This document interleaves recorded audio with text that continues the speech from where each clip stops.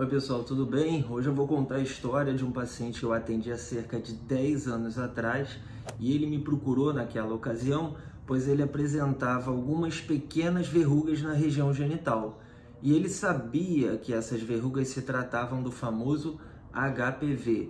Muitas pessoas têm esse vírus e ele é contraído através da relação sexual e ele manifesta os seus sintomas através do aparecimento de verrugas. Esse paciente, naquela ocasião, ele me procurou com essas verrugas genitais querendo eliminá-las. Ele era um paciente homossexual, tinha o seu parceiro fixo, mas antes desse parceiro já havia tido contato com outros parceiros também. E ele estava muito preocupado porque o parceiro estava incomodado com aquela verruga e ele desejava eliminar a verruga.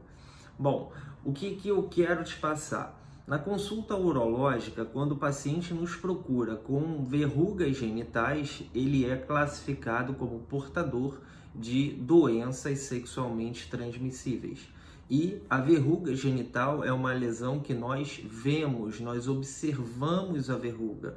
E eu te pergunto, e aquelas doenças que nós não vemos, como a hepatite B, a hepatite C e o próprio HIV? Exato, foi o que aconteceu com esse paciente. Quando ele me procurou com as verrugas genitais, solicitei a ele uma bateria de exames sorológicos, são exames que nós fazemos no sangue depois da consulta, e ele me trouxe um resultado HIV positivo. Pois é, ele sabia que tinha o HPV e não sabia que tinha o HIV oculto.